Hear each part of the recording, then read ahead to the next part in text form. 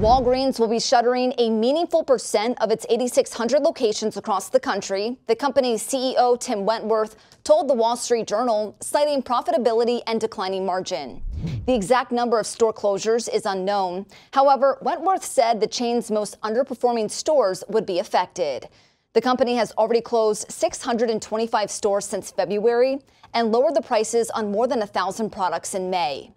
Wentworth told the paper the decision to close stores stems from a difficult working environment, such as pressures on the consumer and the loss of inventory due to theft.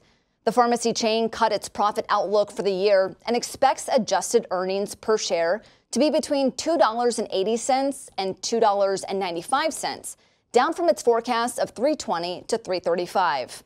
Wentworth said Thursday that consumers have become increasingly selective and price sensitive in their purchases. Walgreens isn't the only pharmacy chain affected by market changes.